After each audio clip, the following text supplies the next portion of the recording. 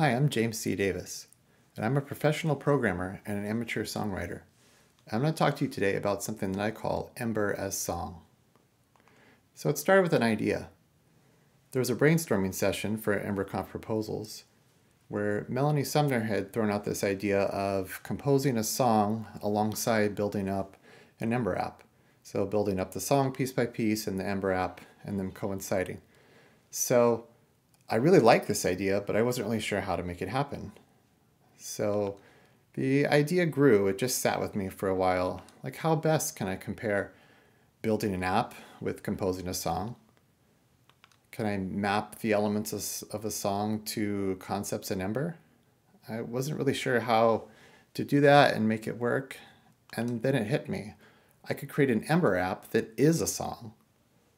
And then this just led to a whole exploration into that. So I've long thought that programming and songwriting were very similar. They're both very creative endeavors. They're both complex, and they share many fundamental concepts like patterns and loops, conditionals, problem solving. Uh, it's often when you're creating music, you're trying to figure out how to get things to work together, and bug fixing. Sometimes something's wrong, and you have to figure out how to make it work. So what's in a song? A song is composed of sections. So you have like an intro and verse and a chorus and bridge, and these may repeat and be intermixed with each other. So what are sections composed of?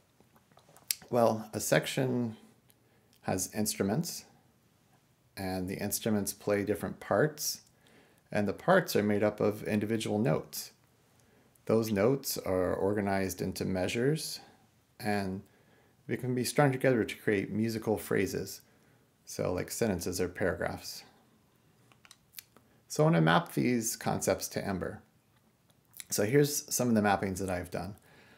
Uh, sections I've mapped into routes because those are kind of like locations in the in the song. Instruments I've mapped to services, which I'll demonstrate in a little bit. Parts are components because that's what that's what makes it up. That's what makes up the song and that's what makes up the app is the components. And then notes I've mapped to contextual components, uh, specifically a contextual component within the part because it needs context. So a section mapped to a route. So it's a location of the song. It's composed of different instruments playing parts together. Uh, the same way a route will have a route template where you have different things working together.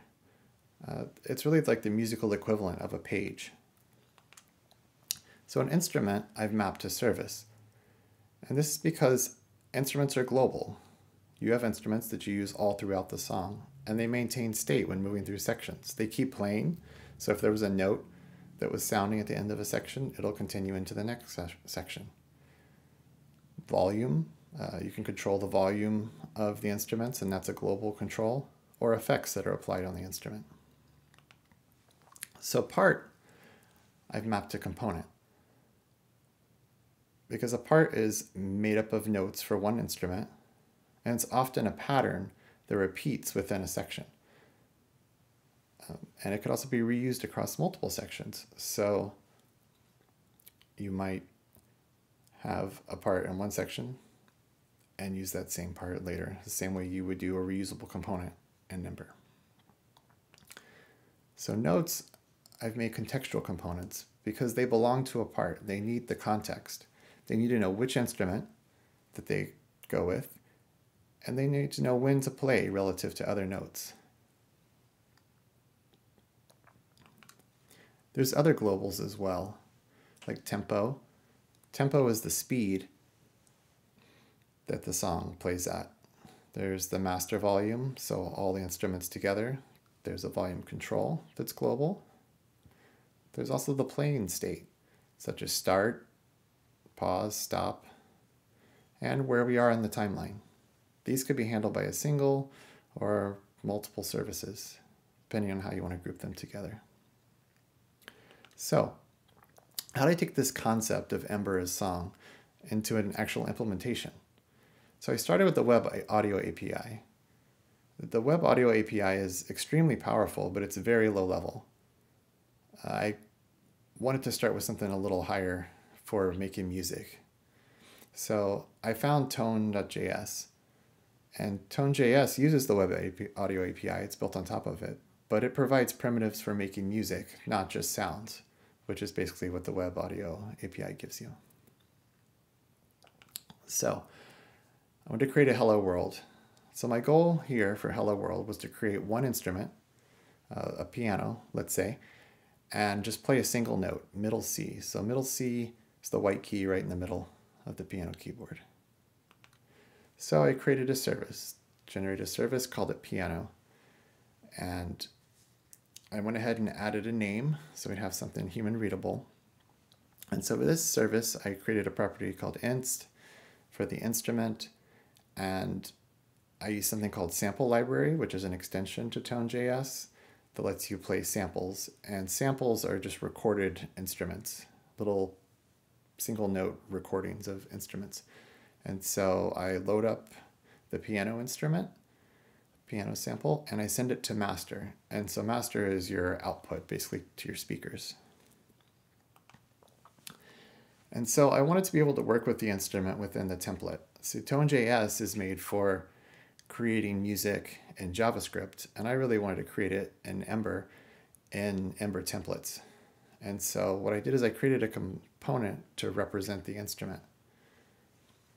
And so you can see the component displays the title of the instrument, so you can see what it is, has a container, parallel I'll talk about later.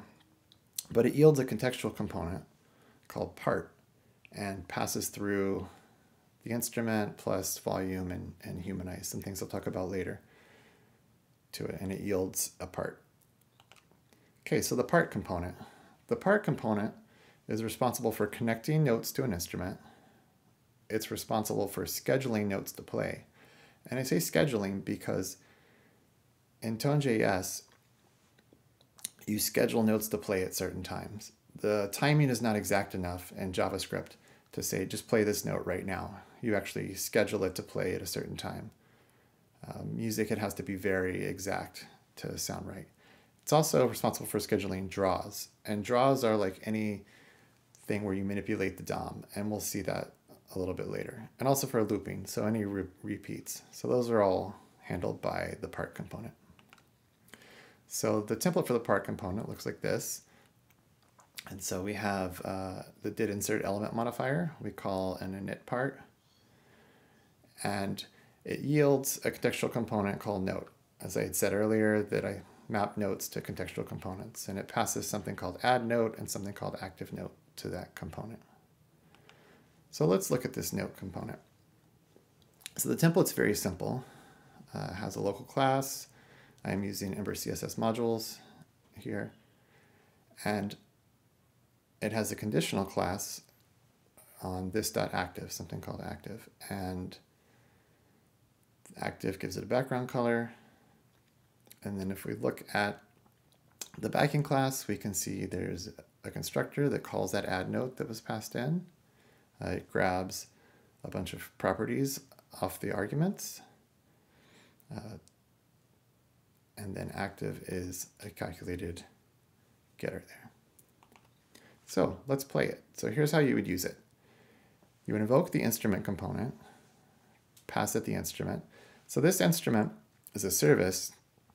We're now in a route template. So we needed to create a controller. So I create a controller and inject the piano service into the controller. And that's really all the controller is there for, is to get the that's piano service into the template. So it yields I with the contextual component part which yields P with the contextual component note. And here we say pitch equals C4. So C4 is middle C. Tone.js uses, a, it's a standard way of naming the notes that starts all the way down at C0, goes C, D, E, F, G, A, B, and then C1, because the notes repeat, those seven notes repeat. Um, so C4 is right in the middle. So let's see what that sounds like.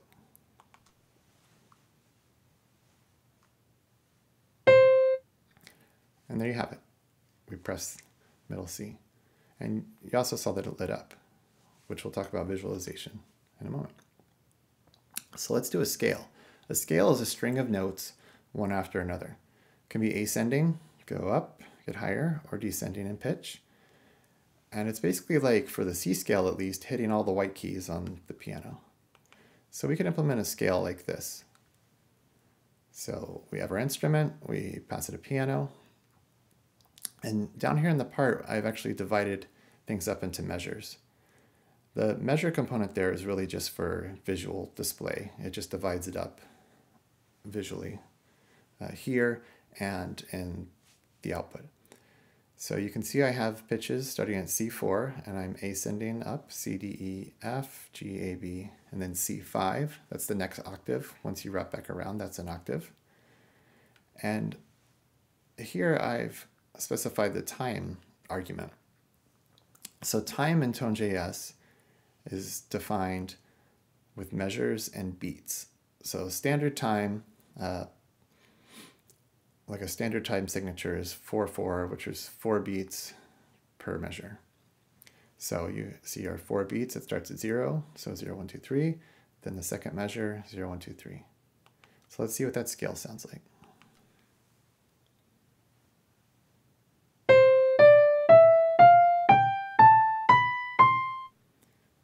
There we go, the C scale.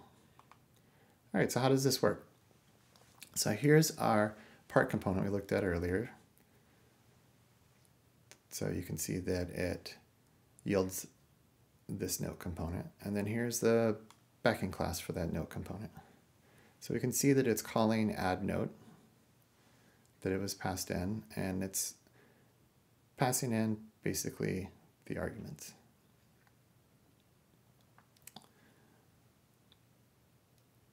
And that's supposed to be args there, where it says this anyways, so the part component. So let's take a look at this. We haven't seen this yet.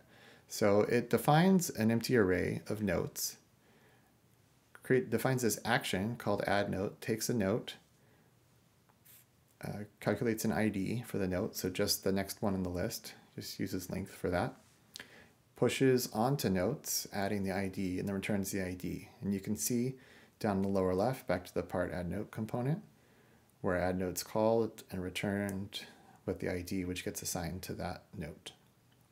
Then we have trigger synth.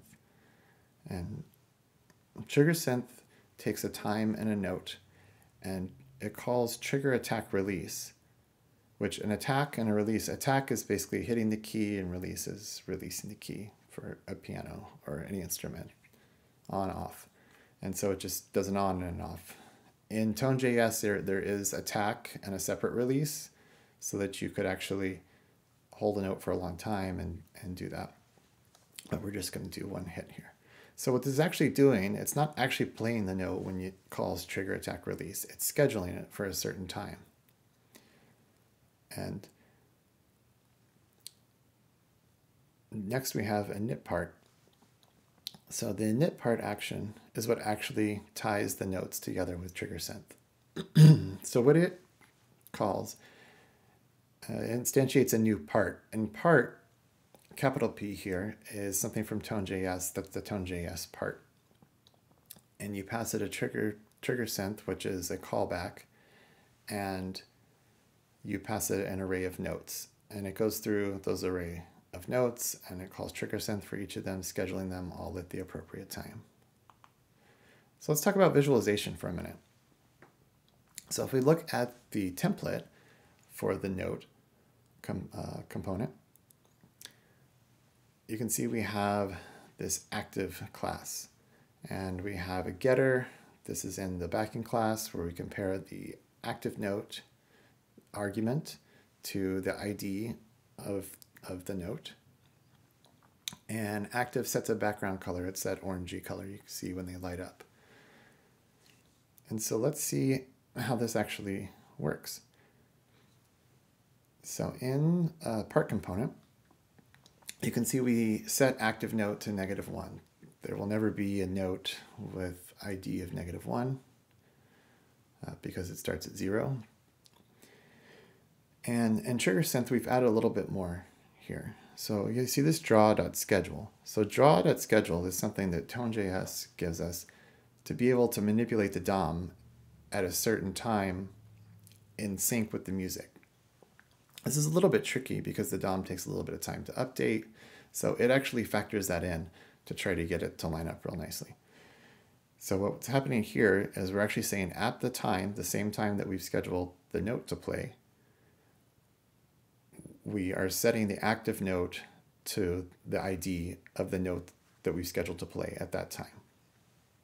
So that will light it up. That will set the active note. It'll match the appropriate note component, set that class to active, and it'll light up orange.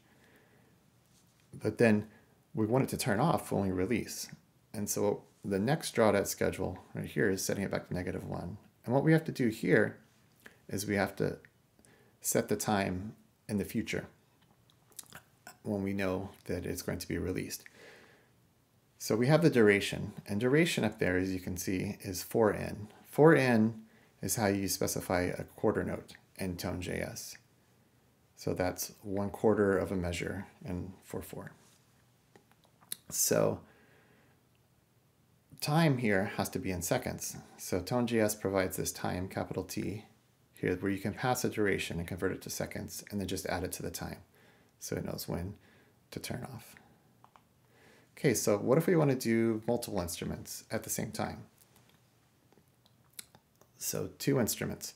So over on the left, we have, that's our piano scale we had before. And over on the right, we've created something new, uh, a violin. So these would actually be in the same template. It actually doesn't matter what order they go in as far as when things will play, but they will visually, the one that is above the other will be above the other on the page. So the violin is another service, uh, very similar to the piano service. We inject it into the controller and use it here. Um, here we're using half notes. You can see a specified duration on the note the, instead of the default quarter note. So we have just two of them in a measure and then a little riff there. So let's see what that sounds like.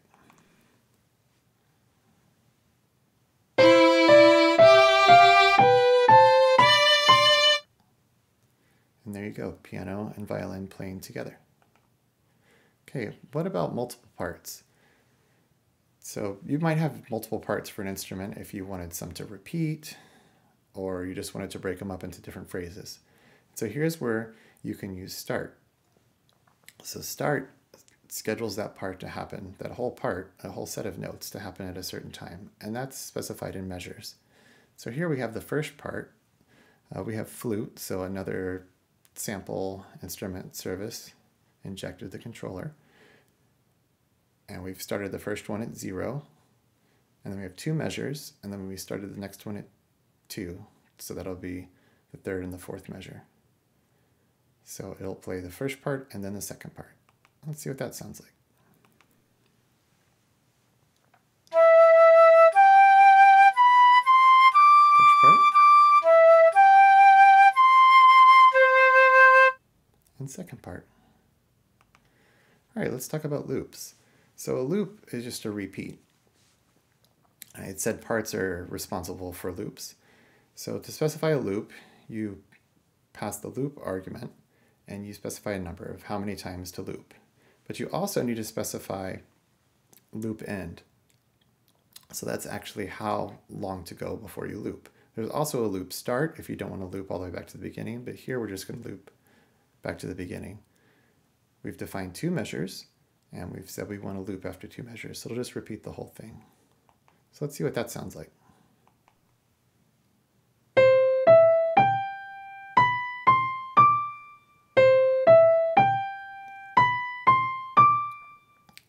It just played through it twice. All right, let's create a drum kit. So drums are pretty interesting because they're an instrument that's actually composed of multiple sub-instruments. So what I've done here is I've created a drum service, and these are actually all just one thing. I've just broken it apart for display here. So I give it a name, drum kit, and then instead of creating an inst, I create a kick. So the kick drum is the big one down on the floor, the bass drum. Give it a name. I give it a default pitch, and what default pitch lets me do is define if I don't give it a pitch, just use this pitch. So, and it's a drum. Uh, drums are tuned, they do have pitch, but here we've just given it a C1, a very low because it's a bass drum, C note. And for the inst, we've created a, a membrane synth, and this, this synth comes from Tone.js. And what a synth is, as opposed to a sample, so while samples are recordings of instruments, a synth is actually completely generated by the computer. And you give it all these various parameters. Um, I could do a whole talk on oscillators and envelopes and how that works and uh, different waveforms and combining them together. But basically, it's computer generated music here. And then we send that to master. That's our output. Snare. Snare is actually pretty hard to synthesize well. So I'm actually using a sample here, uh, again with the default pitch. And then the hi-hat. This one's a little more complicated because it uses this pan vol to get some effect. Um, but this kind of demonstrates how you can chain things with Tone.js together. Uh, you can create this pan vol effect, send that to master, and then you actually connect your hi-hat synth to that. So you chain, chain things together, chain instruments to effects to a master output and it's a metal synth, which is just a different kind of synth. So how you use this is invoke instrument, pass it drums, but in the part, you specify the sub instrument. That'll actually pull off that sub instrument off of the instrument, because again, the instrument is passed to the contextual part component. And so we do that here. And then we have the snare part. The snare was a little bit loud, so I passed volume to it to turn it down a little bit. And then I've specified half notes here to let the snare ring a little while it sounds better. And finally down at the bottom we have the hi-hat. And the hi-hat was very loud, so I turned it down a good bit. Now I'm also passing this thing called humanize. And what humanize is in Tone.js is it introduces a little bit of random variance instead of hitting right exactly on the beat. And that's because humans don't always hit exactly right on the beat. And it turns out computer generated music can feel sort of sterile sometimes because it's so precise. And so this is changing that up just a little bit. Now I've scheduled the snare to start at one and the hi-hat to start at two because for this demonstration I just want them to play one after the other. Kick drum, snare, and hi-hat. Okay, we have a drum kit. So let's loop it. So drum loops, so often in a song you have a riff, a, like a drum riff that pattern that, that plays over and over again in a loop. So the way you do that is you can actually pass the loop argument to the instrument and it'll pass that down to all the parts. And then we're going to schedule these to all play simultaneously. So the default start is zero, so I haven't specified that here. But what I've done is I've specified some notes to play at various different times. So the kick is going to be on the first beat, the snare is going to be on the third beat, and then the hi-hat's on every beat. And this is actually a very standard rock beat. Let's see what that sounds like.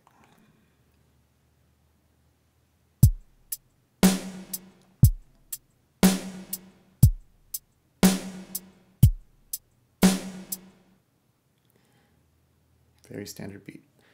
Cool. All right. Let's put it all together. So I've actually composed a song with Ember, which I'm going to demonstrate in a minute. So I've created routes and controllers for these different sections, the intro, the verse, and the chorus. And I've set it up to actually auto-advance among the sections. So it'll actually do intro, a verse, a chorus, and then a final verse. The routes handle all the timing and advancing, so there's some timing um, about where to get these sections to play in relation to each other. It's all handled by the routes and then the advancing, which is just transition, transition to. The controllers are really there just to inject the instruments, the services, to get them into the templates. And so I set this up with a parent route for the drums because I want those drums to loop all the way through the whole song and not have to redefine them for every section. And then we have child routes for each of these sections. So let's have a listen.